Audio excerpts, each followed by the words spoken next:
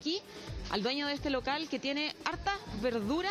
Hola, lo molesto un segundo, muy buenos días. ¿Usted tiene posibilidad de hacer delivery dada la contingencia que vamos a tener el fin de semana donde la gente no va a poder venir a La Vega derechamente a comprar? Sí, sí, sí. Sí, tenemos oportunidad de hacer delivery. Tenemos la página de delivery. Tenemos la, ¿cómo se llama la página nosotros? La Vega Gourmet. La- La Vega Gourmet. ¿Y ustedes qué entregan ahí en esa página? ¿Qué puede acceder la gente? Tenemos el, lo que es brócoli, eh, la, la comida vegana. Tenemos cebolla, apio. Básicamente lo que estamos viendo. Todo lo que están viendo aquí tenemos para el delivery. Y así como usted, de acuerdo a lo que ha podido ver, todos los locales tienen posibilidad de entregar o no todos. No todos los locales, casi todos los locales no tienen delivery. Nosotros porque ya son una, eh, una compañía ya establecida, llevamos más de 15 años y tenemos La Vega Gourmet. Ahí está la página B para todos los que se interesen. Karina, ¿querías preguntar algo más? Es que claro, eso mismo, porque me imagino que hay muchas personas que compran habitualmente en La Vega, pero no se sabe la página web de eh, los comerciantes que visitan habitualmente, de sus caseros, por decirlo de alguna manera. Y quería saber si en la página de La Vega, si La Vega primero tiene a disposición algún listado con las páginas donde la gente se pueda guiar. Y ahí sale el listado, Arturo. Sale el listado, salen diferentes alternativas, pueden venir al galpón, comunicarse.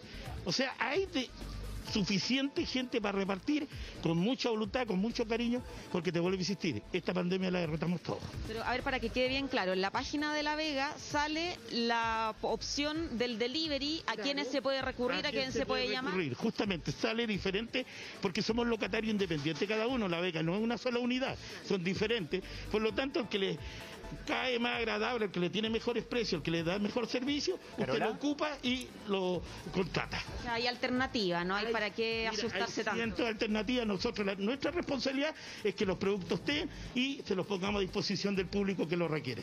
Roberto, dime.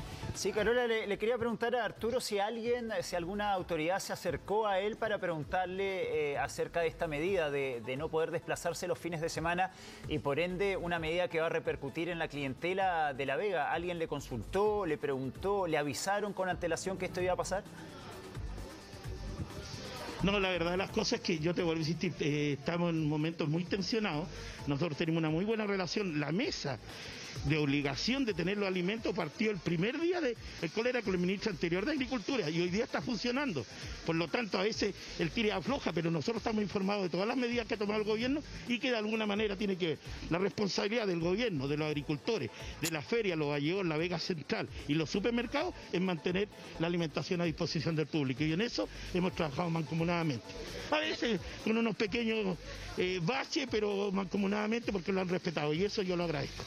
Pregunta Roberto, en definitiva, si ustedes se enteraron ayer cuando escucharon el informe o alguien les alertó antes. No, no, nosotros sabíamos de que había medidas, pero en el momento determinado después de alguna manera la analizamos cuáles son los pros y los contras, pero nosotros sabíamos que venían medidas complejas porque el, el stock de gente enferma se estaba elevando momento a momento. Como vemos, ya estaban organizados. Arturo, muchas gracias por estar con nosotros, como no, siempre. No, gracias a ustedes chiquillos y gracias por informar, porque de alguna manera la gente tiene que estar tranquila.